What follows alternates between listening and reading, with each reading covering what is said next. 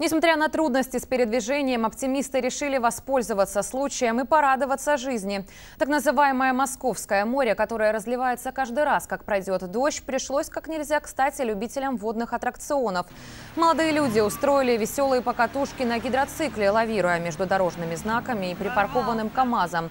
За экстремалом с берега наблюдали товарищи. Судя по комментариям за кадром, они испытывали противоречивые чувства, одновременно и радуясь, и переживая за друга.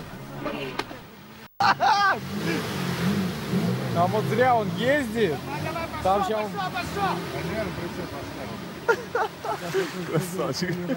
Там ладно, там сейчас он в бордюр как въедет. А соседи экстремала, которые, по всей видимости, живут в близлежащих домах, устроили заплыв на моторной лодке. Вот такой суровый отдых в каменных джунглях.